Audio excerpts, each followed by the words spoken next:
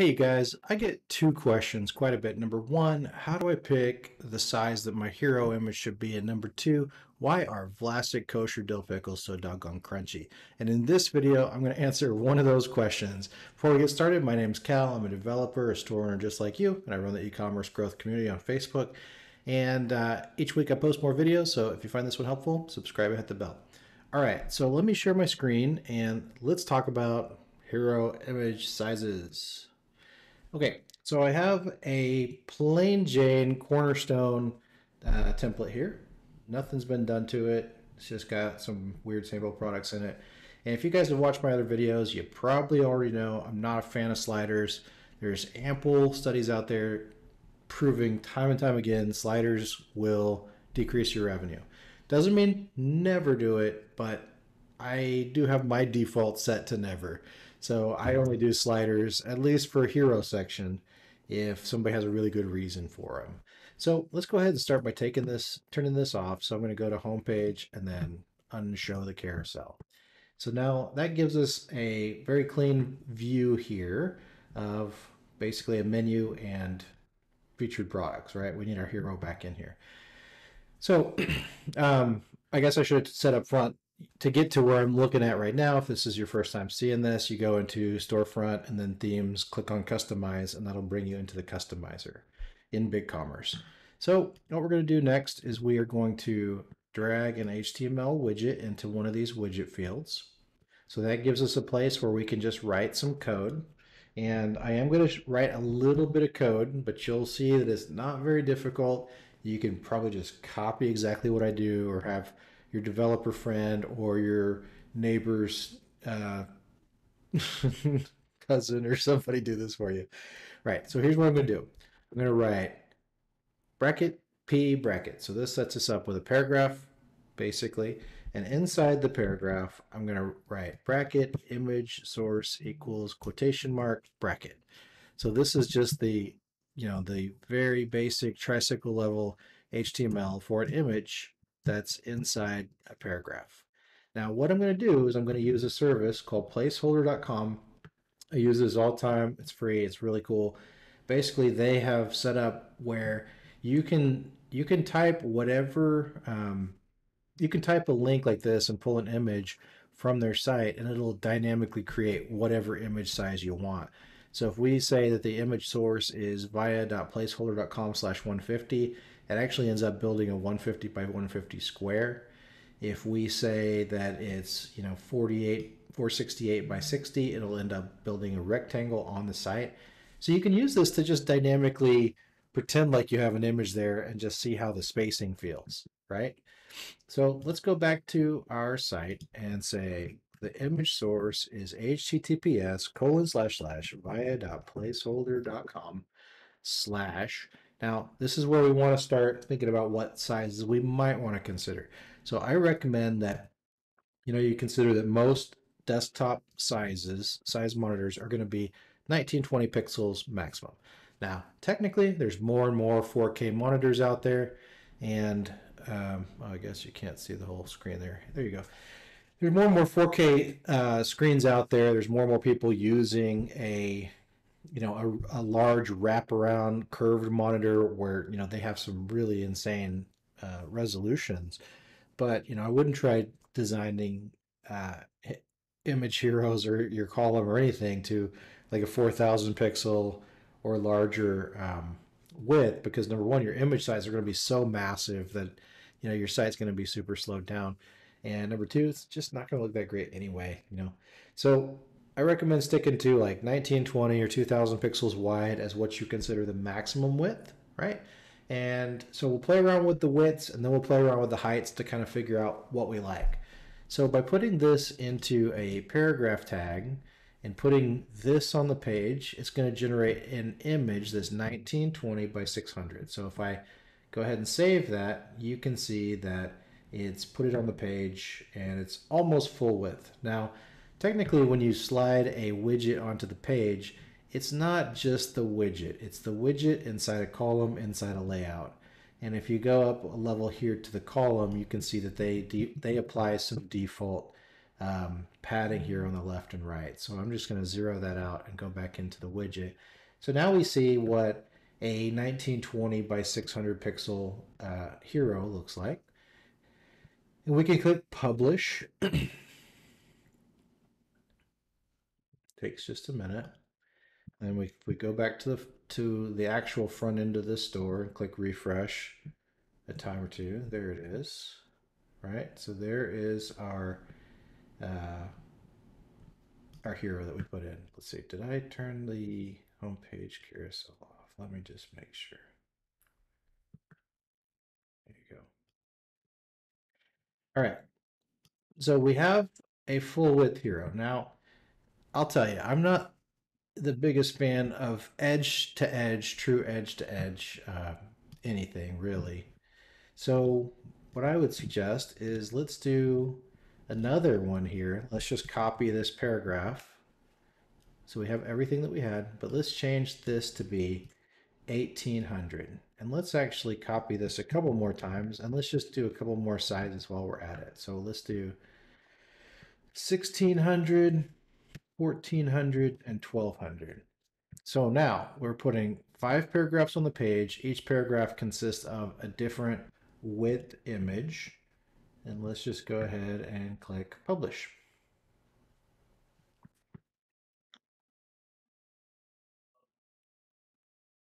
All right. Let's click refresh.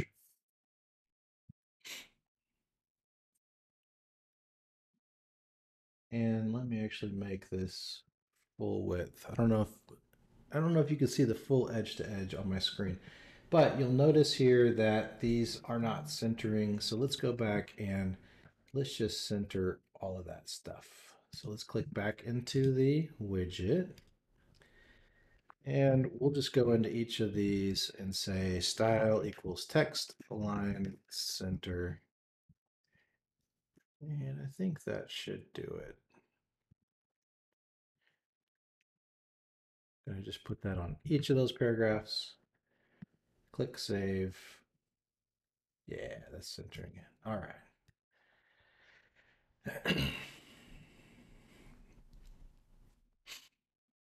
so we have everything in those paragraphs centered, and we're going to come back to the front end and we're going to refresh it. All right, so now let's just hit this little toggle up here in the corner to get rid of the little BigCommerce menu. That kind of messes up your view a little bit. And so now we can kind of see like if this was, you know, if this was the um, header, then this is how it would look right underneath it. And I think it looks, you know, super crazy wide. This is how 1800 by 600 looks, which I like this quite a bit. So this is usually the maximum width I usually use because I like a little bit of edges on the side. I will frequently use 1600 by 600. Sometimes I will use 1400 by 600 a 1200 by 600 is a hero size that I use, but I usually use it on like interior pages and things more like blogs and things like that. Now, if I come up here and let's see, let's see if we can make the header just fixed real quick. So we're going to go to the header. We, I just right clicked and found the header here and I'm going to say display. Let's see, fixed. I think that'll do it fixed. Oh, fingers are not working today. Does not want to go. Doesn't want fixed. So let's say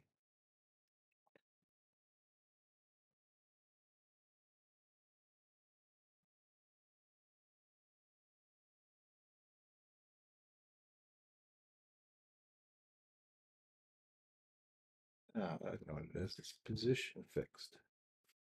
All right, so now that'll let it stay up there as we scroll down and look at some of these other sizes. All right, sorry to get a little bit cody there. Took me took me half a minute, but now we can see what it looks like with the header not moving. So if we just scroll down to the next hero size, look at that. It's almost like that first one doesn't exist, right? And this feels a little bit better than the first one. Again, this is kind of how the first one was. It's kind of cinched up underneath the header right now, so I'm not going to fix that in the video, but you can still you know, kind of see the width here that we're talking about. This one feels a little bit better, but at least with the way that this header is working, with everything being centered, it feels a little bit too wide to me, you guys. Now, 1600 is starting to feel a little bit better. 1400 is feeling pretty good. And so this is kind of what I like to do is, you know, just kind of eyeball eyeball how it feels size-wise against the other stuff that's on the page.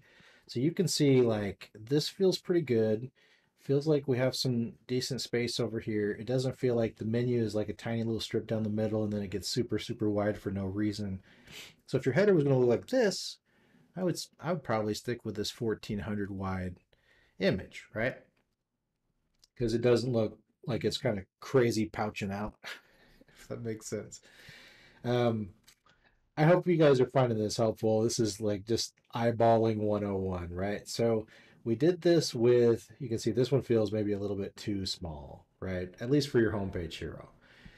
So now we did the width. So let's say that we said, yeah, we like, which one was it that we liked? Was it the 1400? That felt pretty good, right? So let's just take the 1400 one and let's just delete the rest and say, okay, now we know that we want it 1400. Let's also look at a couple different sizes, right? So let's look at 750 for height. And let's look at maybe 400 for height, right? So we got a 400, a 600, and a 750. 750 is about the highest I ever go, by the way. So I click that, click save and publish,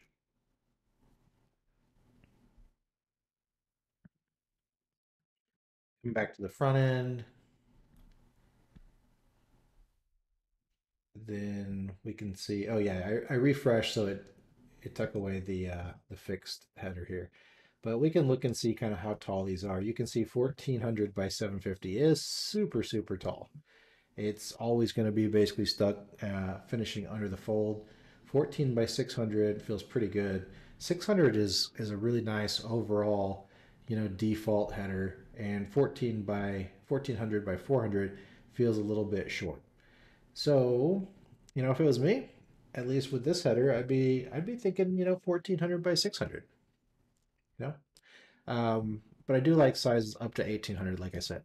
I want to show you one more thing, and the reason I want to show you this is because I, you know, I personally, you know, we've seen rectangular heroes for a long time. It is definitely the standard on everybody's site. But it doesn't look that great on mobile, right? So, like if I shrink this down,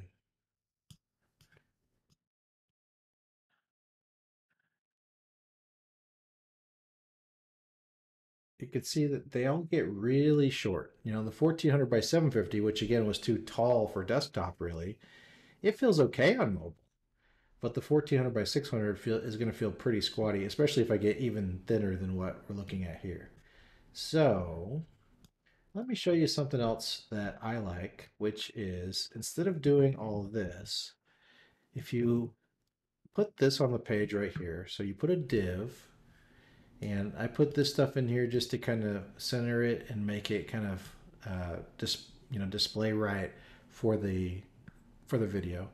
So this div basically is going to put make the ingredients of the div, the the stuff inside of it, display as a grid. It's going to be, you know, maximum 100%, and it's going to put it into a grid type of column, right?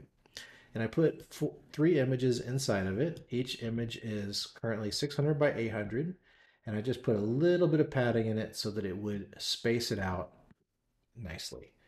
Save that publish it.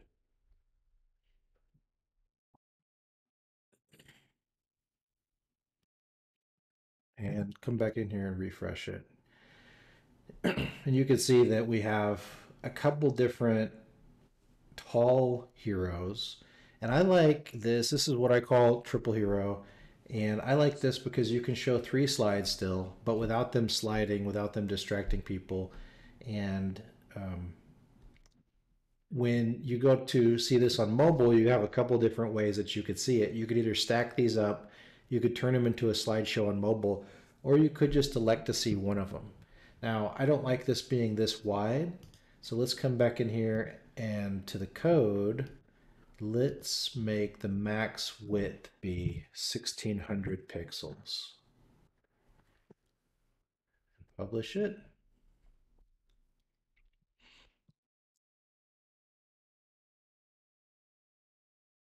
Okay, come back to the front end.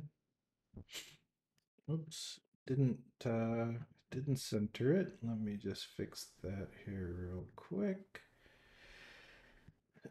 Which I can do with margin auto. I'm going to just place that back into my code here.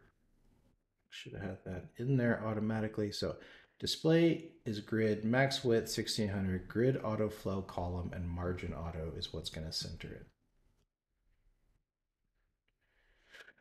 it. And when we come into the front end, look at how nice that looks, right? It's still maybe a little bit wide.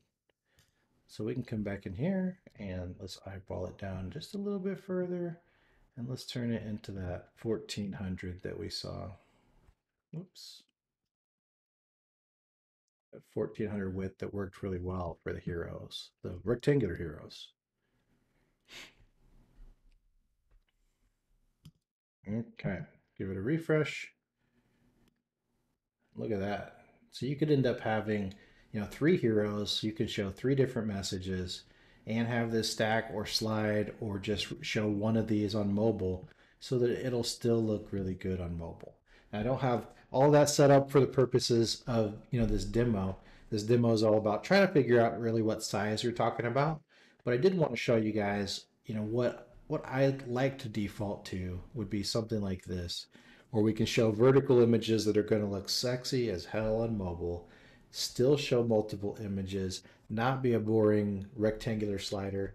And um, you know, while I did show you, you know, a start to how you would actually code this, we are about to come out with a new widget for the Page Builder Widgets app that'll actually just build the, the triple hero like this for you and, you know, let you either um, stack or slide or just show one on mobile and, you know, just kind of give you guys some options.